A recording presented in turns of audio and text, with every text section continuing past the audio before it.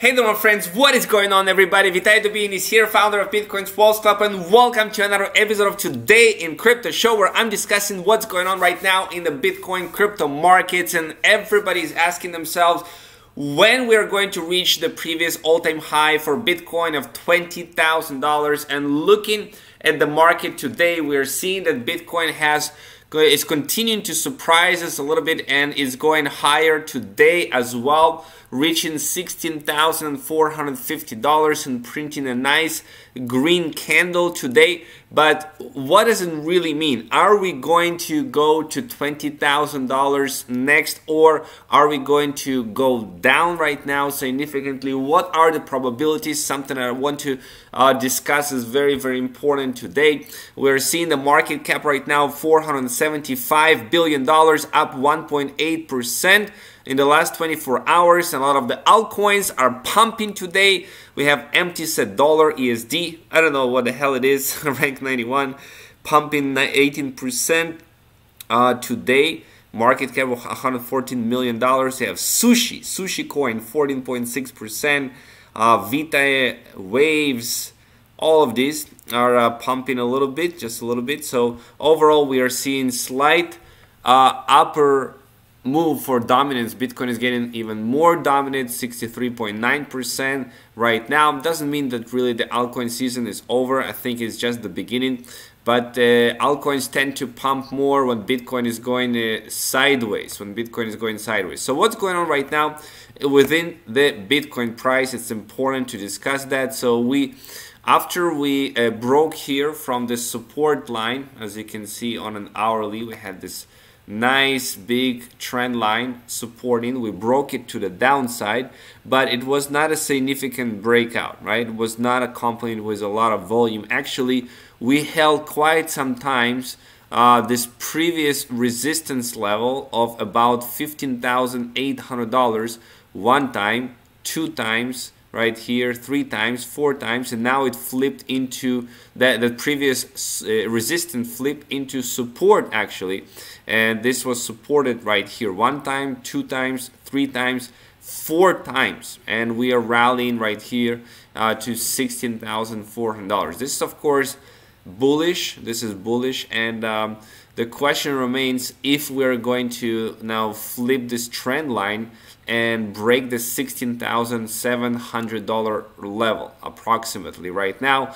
If we're going to succeed in doing that, then I believe we can go to the next level of $17,000 for Bitcoin. However, we gotta take a look at uh, also the bigger picture. We have been for many, many days right now uh, in RSI levels that are high on the daily, right? Ever since uh, 20th of October, we have been above 70 on an RSI on a daily basis. Um, I actually accidentally hit the X button right here. So there you go, RSI. So you can see over here, we've been uh, quite some time, almost a month, above 70 so this is uh, not typical. This is not typical for the bitcoin price. This, the rally is strong obviously. Uh, if you look at the weekly we have been pumping week after week after week six weeks in a row right now uh, for the bitcoin price. So uh, this of course 100% guarantees that we are going to see a correction downwards. We are going to see a correction on a weekly downwards a weekly red candle and uh, you gotta prepare for that right? Whether it's going to come right now or a little bit later. You gotta prepare for a 20 30 percent move to the downside. Like Lark Davis is saying Bitcoin about to close at six green candle on the weekly. Last bull run five green candles followed by a 38 percent drop. Eight green candles by a 42 percent drop and 6 by a 30% drop. Okay, keep that in mind. A dip is coming. a dip is coming. The question is really when, because we are starting to lose. Like I said, uh, for many days, we are kind of consolidated. There is not a lot of volume that we are seeing right here on the daily, really. Um, and we are kind of consolidating in this area. Nothing really major nothing really that significant that happened right now in the Bitcoin price. Yes, we rose another 2% from $16,000 to $16,400, but you know that's uh, that's not significant enough uh, when a move enough to go to much much higher levels to rise another thousand dollars for example uh, for the bitcoin price so gotta be careful a correction uh, might happen. This is in the short in the short term. We are going to see the $15.2 thousand level. If we're going to get to this this level here 15.2 is going to be like a like a head and shoulder like left and head and shoulder. And this is a bearish pattern and we can correct even more to the downside. This is all in a in a short term right? In the, in the next couple weeks. But we have uh, at least six weeks until we close this year of 2020 so can we reach can we reach twenty thousand dollars even this year? Yes, we can. We can. It can happen definitely. Um, there is a good chance that it can happen, but you gotta be ready. You gotta be ready and prepared because uh, this is not a significant move up yet here for the Bitcoin price with the, enough volume to conclude that uh, you know we are certainly going to go much much higher because we can easily correct and go down to 15 you know to 15.8 and 15.2 in the next uh, coming days. Also keep in mind that crypto fear and greed index is extremely bullish right now, right? It is extreme um, greed. It's at 90 right now. Yesterday was 86, now it's 90. It's extreme greed right now. And again, this is something that is not typical, right? If you look at a three months period, if you look at a one year, or even max, right? You can see right here, whenever we were in these zones of 90, look at the correction that, that happened. This was in June 2019, and then we've fallen falling down in the in, in the coming months ahead. June 2019. Take a look at where we were in June 2019. Right here, if we zoom zoom out a little bit. This is uh, June 19. So there we go we peaked at $13,000, a very nice rally, all the way from uh, 5,000 to $13,000, and then we went higher and significant higher, and this was a Corona dump, of course, right? So went for $13,000 to $8,000, even $7,000, right? So, you know, keep that in mind. So we are in a danger mode right now, in a danger zone of crypto fear and greed index is 90. I know that it's, it's you know, looking at uh, some some of the things that is going on with a bullish perspective, right? It's uh, it's easy to be bullish here. Um, however, just do not lose ground and see that we ha might have a, a significant correction uh, coming, right? Uh, so we set, we have another indicator. I want to show you this Bitcoin market cap to thermocap ratio.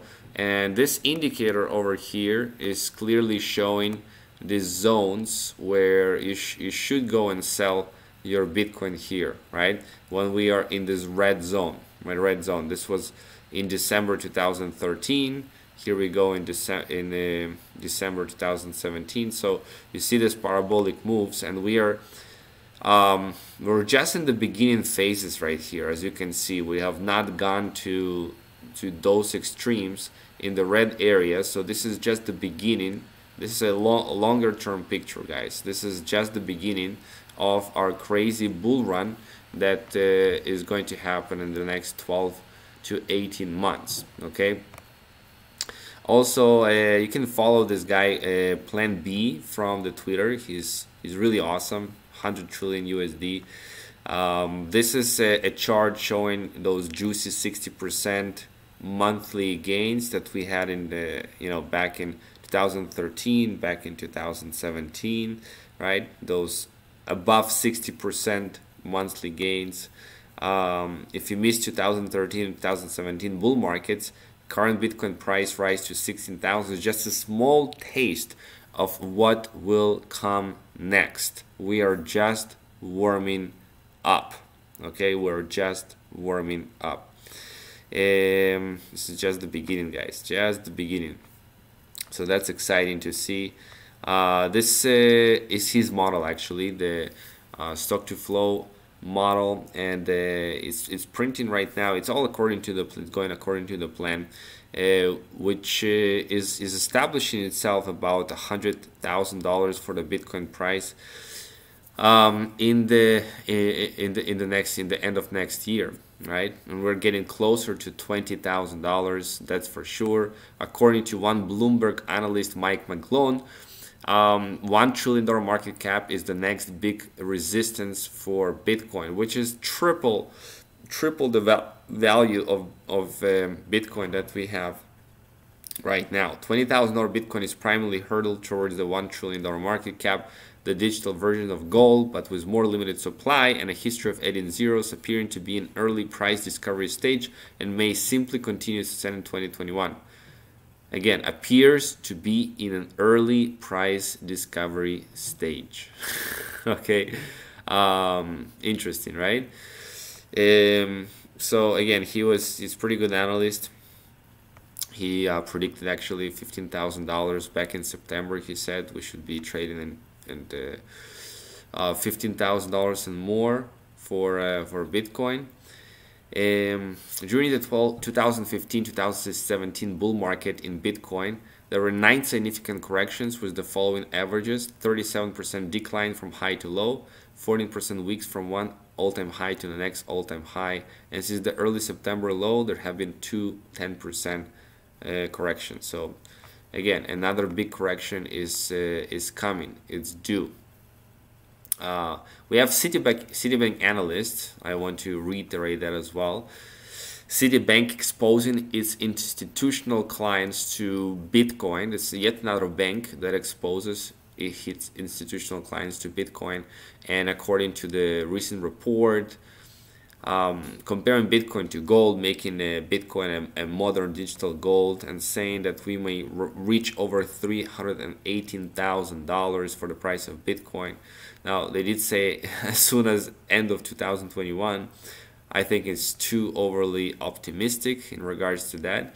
But overall, um, the goal is accomplished. There's more institutions that are going to come in uh, essentially to buy this new gold Bitcoin because more and more reports from Fidelity, from Citibank, from other big banks and institutions are reading this and saying, hey, you know, those billionaires are getting involved in, uh, in Bitcoin. I gotta buy Bitcoin as well, right? Um, uh, Fidelity Digital Asset also published response to different criticism about uh, Bitcoin, how, for example, uh, Bitcoin has failed as a, as a, as a means of payment. Uh, and they say Bitcoin makes deliberate trade-offs such as limited and expensive capacity to offer core properties such as decentralization and immutability. Given its high settlement assurances, Bitcoin optimizes its limited capacity for settling transactions that aren't well served by traditional rails.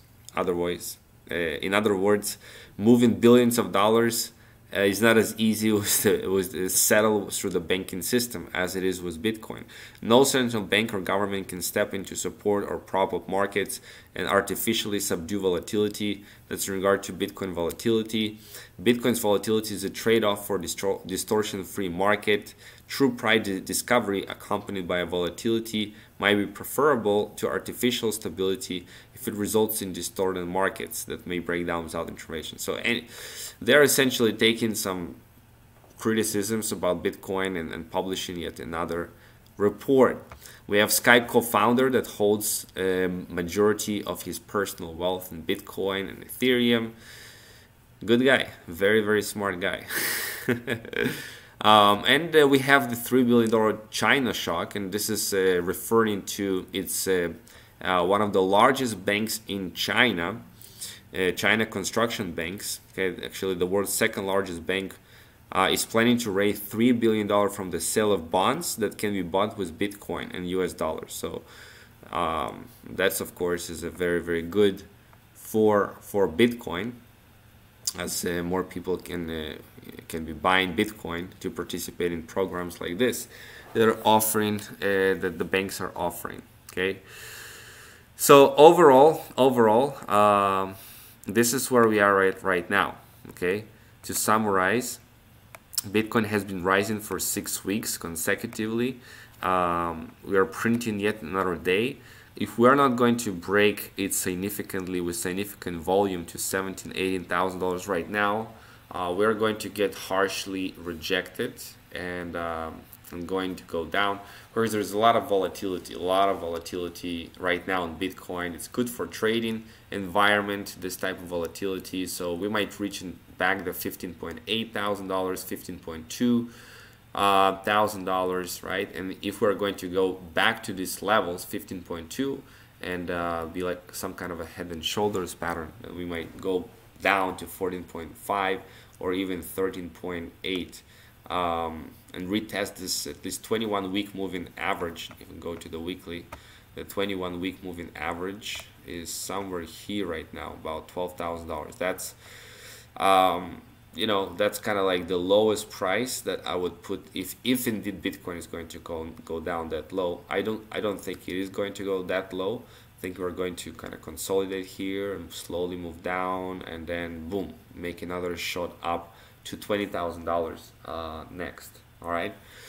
Um, so yeah keep keep your eyes on the charts. And if you want to learn more about Bitcoin and trading uh, reach out. And uh, you know there's a lot of trading opportunities. If you're not yet subscribed to Bitcoin's Wealth Club newsletter and different vehicles and ways for you to um, grow your wealth with Bitcoin and how you can how Bitcoin works and different wallets that you can use, different ecosystems. You can get free access to this training on Crypto Wealth Secrets right here. Go to bitcoinswealthclub.com to get access to this free training.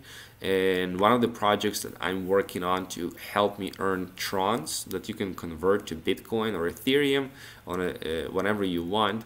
Um, you can watch how it is being done on watch.earntrxdailysystem.com uh, to get access to totally free training. And please subscribe to the YouTube channel and uh, hit the like and notification bell to stay up to date with uh, what's going on in Bitcoin and crypto and uh, follow us on Facebook uh, in our Bitcoins Wealth Club Facebook group. Now with that being said guys, I hopefully that you have a fantastic fantastic day and uh, I'll see you in the next episode of Today in Crypto Show.